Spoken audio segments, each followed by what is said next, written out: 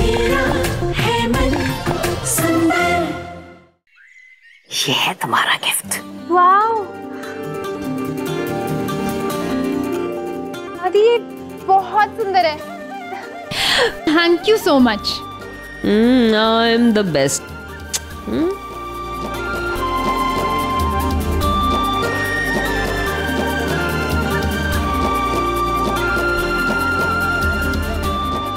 ये तुम्हारे दादी ये मेरे लिए है।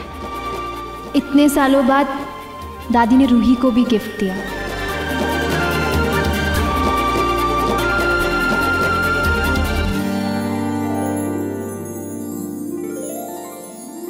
ज़्यादा भावुक होने की ज़रूरत नहीं है। जल्दी से इसे पहनो और तैयार हो जाओ।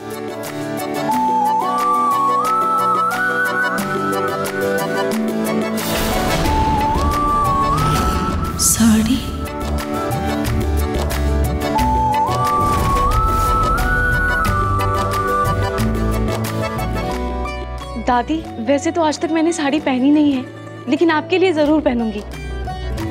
आज का बर्थडे मेरा बेस्ट बर्थडे है। ये तुम्हारे जन्मदिन का नहीं, तुम्हारी मुँह दिखाई का तोहफा है।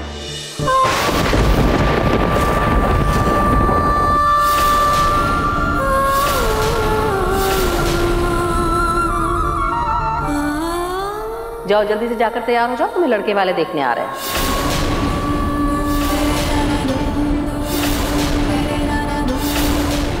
अरे क्या कर रही हो ये? तीन सौ रुपए की साड़ी ये खराब हो जाएगी।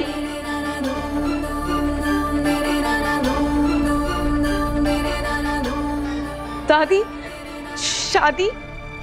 अभी तो मैं पढ़ाई कर रही हूँ ना तो फिर मेरी शादी कैसे हो सकती है? हाँ पूनम। अरे लड़के वाले देखने आने वाले ये ये अचानक से कैसे तय कर दिया आपने? प्रतीक के पापा। आप समझ नहीं रहे। लड़की जात है। जितनी जल्दी शादी हो जाए, उतना अच्छा है। अब लड़कियों को ज़िंदगी भर घर में तो नहीं बैठा कर रख सकते ना। इनकी शादियाँ तो हमें करनी ही पड़ेगी। और अच्छा खासा लड़का मिला है, आपको पता है। टैक्सी का अच्छा खासा कारोबार है उनका। उनकी शादी हो जाएगी, अच्छे घर में चली जाएगी तो हमारे लिए एक ज़िम्मेदारी पूरी हो जाएगी प्रतीक के पापा। और ऊपर से आप भी सोचिए ना, हमारा कारोबार बिल्कुल ठप पड़ा हुआ है। अब इन बच्चियों की ज़िम्मेदारी तो हमारी ही है। प्रतीक अक्सर काम के सिलसिले से बाहर रहता है। अब जितनी जल्दी ये ज़िम्मेदारी हमारे सर से उतर जाए, हम लोगों के लिए उतना ही अच्छा है और अब जितना कर सकते हैं हम, उतना करके लड़कियों को अपने अपने ससुराल भेज दें। और वैसे भी प्रतीक के पापा कहते हैं ना, कन्यादान महादान होता है। और अगर हमें ये सौभाग्य मिला है तो हम ये पुण्य तो कर ही सकते हैं। और वैसे भी इसके बहुत पर निकल आए हैं। कल आधी रात को पार्टी करके घर लौट रही थी। मैंने रंगे हाथ तो पकड़ा है इसे प्रतीक के पापा।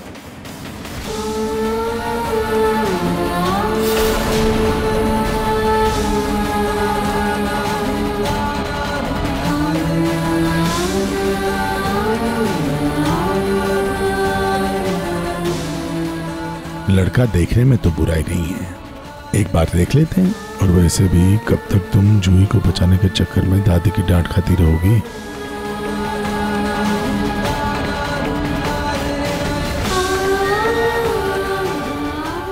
आज जन्मदिन है, इसलिए मैं इसे कुछ कह नहीं रहा हूँ। समझे? जाओ। जाओ। जाकर तैयार हो जाओ बेटा। जाओ।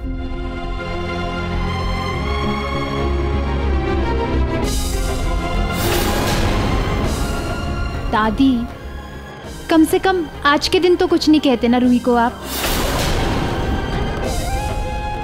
जूही रुक। जब लड़के वाले आएँगे ना तो उनके सामने मत आना।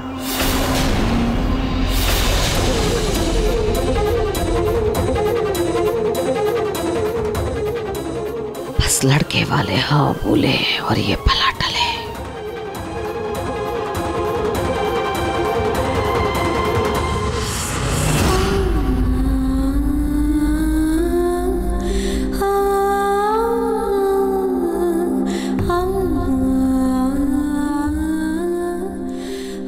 क्या देख रही है? देखने से थोड़े ना साड़ी पहनेगी। इसे तो पहनना पड़ेगा ना? जानती हूँ पर मुझे नहीं पहननी है साड़ी। मुझे नहीं करनी है शादी। मैं लाइफ में कुछ बनना चाहती हूँ। कुछ करना चाहती हूँ अपनी खुद की पहचान बनाना चाहती हूँ। सपने वही देख रूही जिन्हें पूरे करने की उम्मीद भी होती है। तुझे यही करना है ना? तो जा दादी से बात कर ले।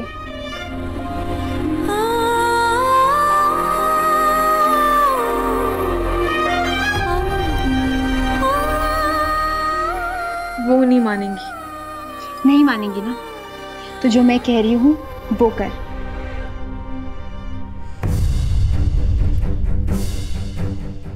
जूही ये क्या कर रही है तू?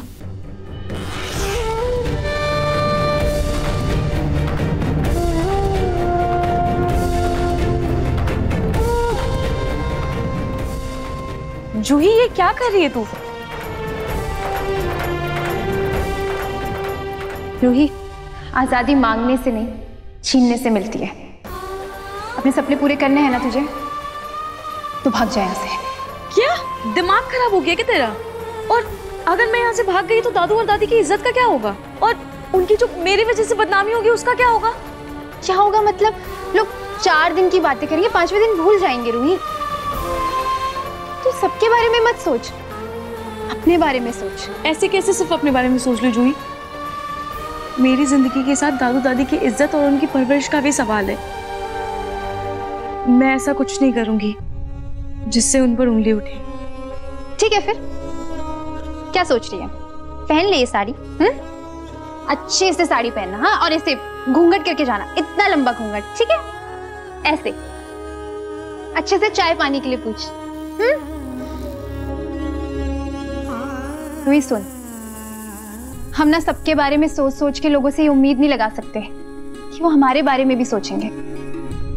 आजकल लोग सिर्फ़ सिर्फ़ अपने बारे में सोचते हैं। तुझे दादू दादी की इज़्ज़त का ख्याल है ना?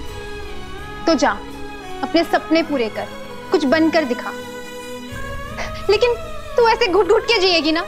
तो डिप्रेशन में आ जाएगी सुसाइड कर लेगी। और, और तब उनकी ज़्यादा बदनामी होगी।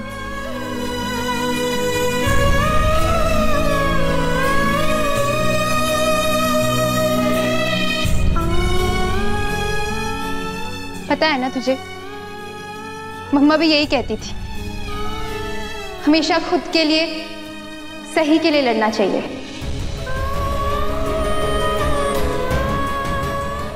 रूही, मैं कितनी भी झल्ली हूँ, लेकिन आज़ादी का मतलब समझती हूँ।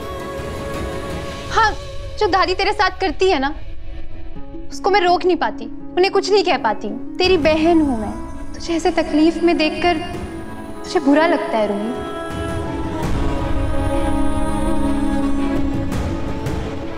अब चॉइस तेरे हाथ में है। आज़ादी या ज़िंदगी भर की घुटन।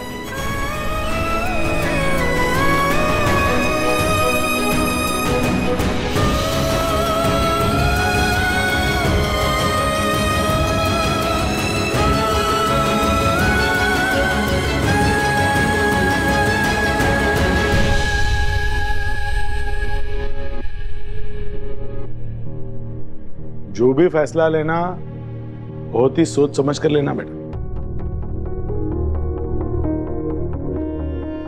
और अपने फैसले पर बिल्कुल अटल रहना, बिना किसी पछतावे के। देखो बेटा, ना तो मैं तुम्हें रोकूँगा और ना ही डांटूँगा। सिर्फ़ कुछ कहना चाहता हूँ, वो एक बार सुन लो।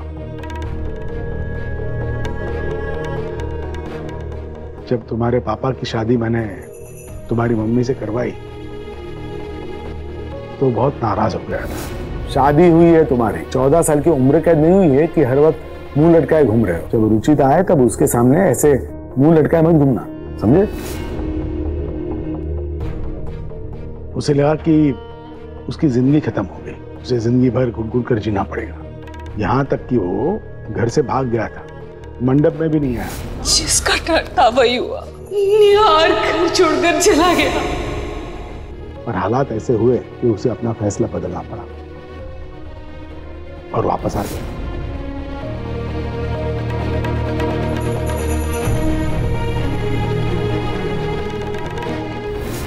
और बेटा किस्मत देखो उसका मजबूरी में लिया हुआ यह फैसला उसकी ज़िंदगी का सबसे खूबसूरत फैसला हो गया।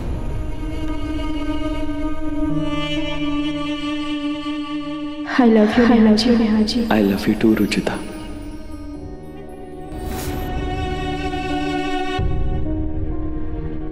Ruchita ने निहार को इतना प्यार दिया इतना सम्मान दिया रुचिता ने निहार की ज़िंदगी इतनी खुशियों से भर दी जिसके बारे में कभी उसने सोचा भी नहीं निहार बिल्कुल इंडिपेंडेंट हो गया था बिज़नेस में आगे बढ़ने लगा जो सम्मान उसे कभी नहीं मिला था। न मुझसे, न किसी और से। वो सम्मान उसने अपने बलबूते पर पाया सिर्फ़ रुचिता की वजह से। मैं सिर्फ़ इतना बताना चाहता हूँ बेटा, कि कभी कभी हमें लगता है कि हमारे साथ कुछ सही नहीं हो रहा है। लेकिन असल में, हमारे लिए वही सही होता है। वो कहते हैं ना, हमारे मन का हो तो अच्छा। लेकिन अगर मन का ना हो तो और भी अच्छा। क्योंकि जो हमारे मन का नहीं है, वो उसके मन का होता है। बेटा, एक तरीके से देखा जाए तो मैं मानता हूँ कि शादी करके तुम एक बंधन में बन जाओगे। लेकिन अगर एक तरह से देखा जाए तो तुम अपनी दादी की नाइंसाफियाँ और उनके तानों से हमेशा के लिए मुक्त हो जाओगी। और क्या पता कल को तुम्हारा पति ही तुम्हारा सहारा बन जाए तुम्हारे सारे सपने पूरे करने की पहली सीढ़ी वही बन जाए।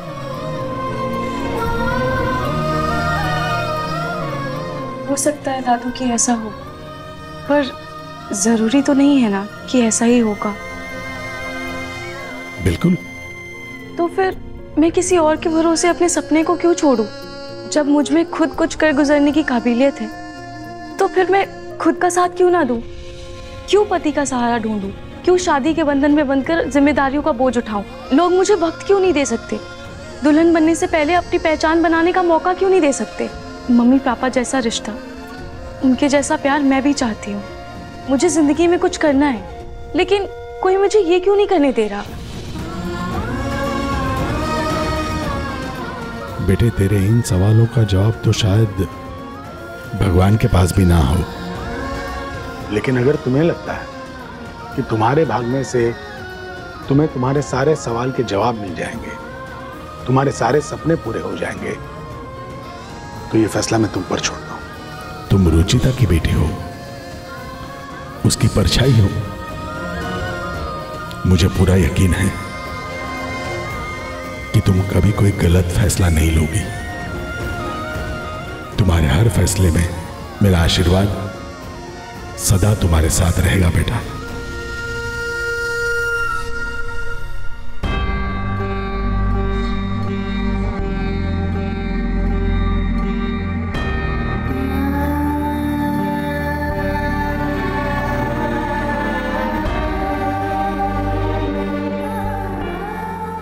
देखा? घूम फिर कर बात शादी पर आकर अटक गई। इतना मत सोच रूही। जा जा और कर ले अपने सपने पूरे।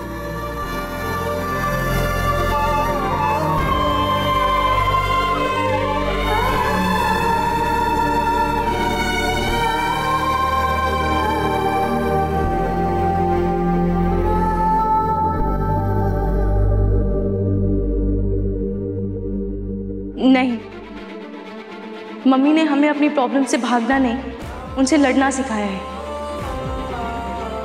और मैं भी अपनी प्रॉब्लम से लड़कर जीतूँगी। उनसे भागकर नहीं।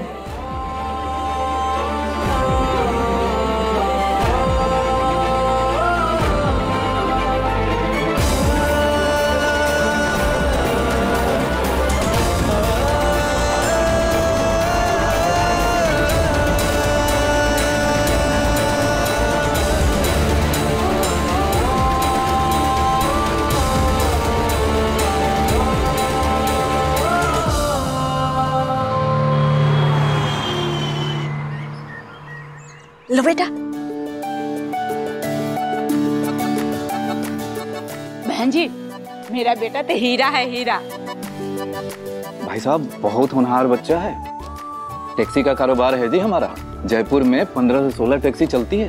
सारा कारोबार यही संभालता है जी। और हमारी रूही भी किसी हीरे से कम नहीं है बहुत ही गुणी है। बड़े नाजों से पाला है हमने उसे।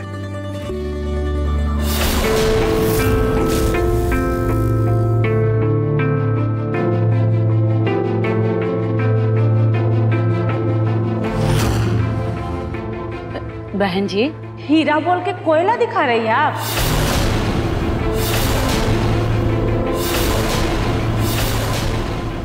लेकिन कोई बात नहीं चलेगा। अरे नहीं बस रंग दबा हुआ है जरा सा बाकी बहुत संस्कारी और गुणी है। जीवन भर आप लोगों की सेवा करेगी देख लीजिएगा। लाओ बेटा चूज़ तो। लीजिए।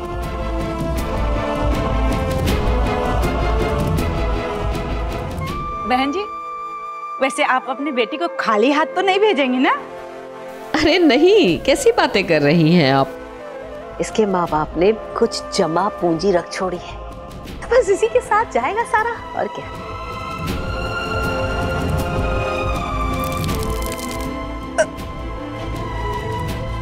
अरे बहन जी बाथरूम कहाँ है? हाँ हाँ एक मिनट। है रोहित बेटा बाथरूम तक लेकर जाओ।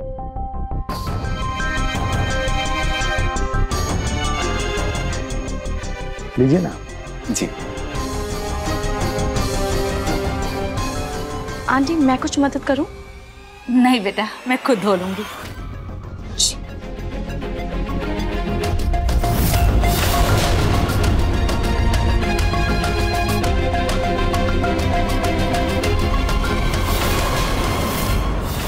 अंगूठी?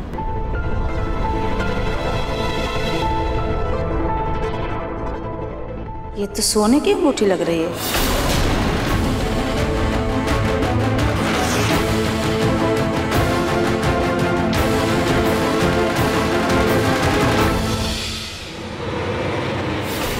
हे भगवान, मैंने अंगूठी कहाँ रख दी? दादी ने आज पहनने के लिए दी थी। अगर खो गई तो वो बहुत डांटेंगी मुझे। अरे हाँ मैंने हाथ धोते टाइम शायद बाथरूम में रख दी। कोई बात नहीं, आंटी बाहर आएँगी तो ले लूँगी।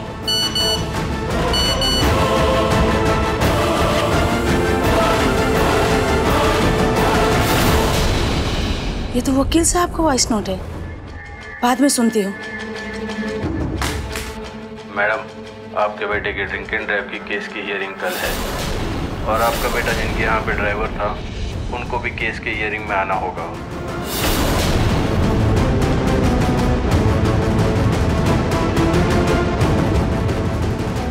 चलो बेटा चलते हैं। जी आप चलिए मैं अभी आती हूँ। मैंने सही सुना या कुछ गलत फहमी थी? सामने वाले ने सच्ची ड्रिंक एंड ड्राइव केस बोला था क्या?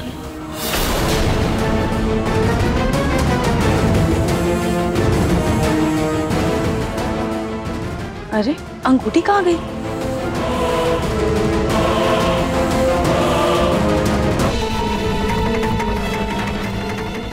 पर मैंने तो यही रखी थी। और मेरे बाद तो कोई आया भी नहीं है।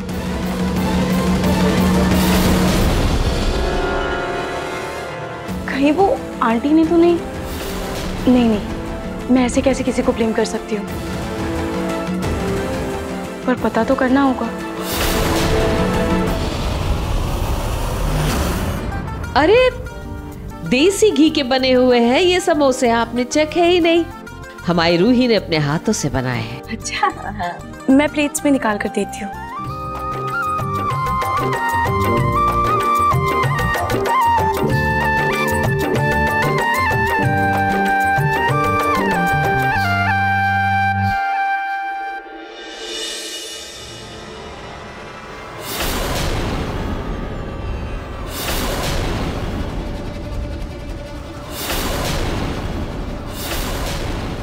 रूही जी से अकेले में बात करना चाहता हूँ। बेटा पहले बड़े बात कर ले बाद अरे हाँ कर सकते हैं बात क्यों नहीं कर सकते? प्रतीक के पापा जमाना बदल रहा है। करने दीजिए बात। जा रूही जी आपको खाना बनाना झाड़ू पोछा बर्तन आता है ना? जी सब आता है। बढ़िया।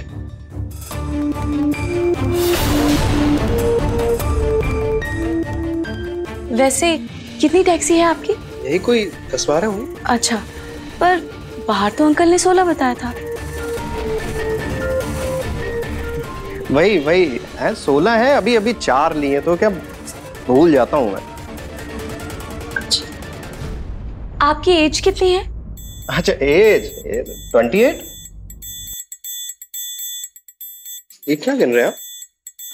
शुक्र है अभी पाँच साल है आपके पास। मतलब? वो मेरी कुंडली में दोष है ना। मेरा कोई भी पति तैतीस साल से ज़्यादा नहीं जिएगा क्या? हाँ। पिछले तीन पति ऐसे ही तो गए हैं। मतलब? आपको पता नहीं था? नहीं। सॉरी मुझे लगा आपको पता होगा। नहीं नहीं। मुझे अभी नहीं मरना। अभी टैक्सी चलाना मैंने स्टार्ट किया है। अभी ज़िंदगी पहली टैक्सी चलाई मैंने। अभी अभी ड्राइवर की नौकरी लगी। पागल हो क्या तुम? और तुम तुम मेरे मरने के गिन गिन रही हो? अच्छा तो आप टैक्सी ड्राइवर हो। आपका टैक्सी का खुद का कारोबार नहीं है। वो वो मैं, मैं, मम्मी मम्मी। पापा धोखेबाज हैं ये लोग। क्या हुआ बेटा? मम्मी ये लड़की पहले ही तीन बार विधवा हो चुकी है। और अगर मैंने इससे शादी की तो पाँच साल में मैं भी मर जाऊँगा। नहीं ये क्या बदतमीजी है रूही ये झूठी मनगढ़ंत कहानियाँ क्यों सुना रही थी तुम विजय को? सॉरी दादी, लेकिन मुझे धोखेबाज कहने वाले ये लोग ना दरअसल खुद धोखेबाज हैं और चोर भी।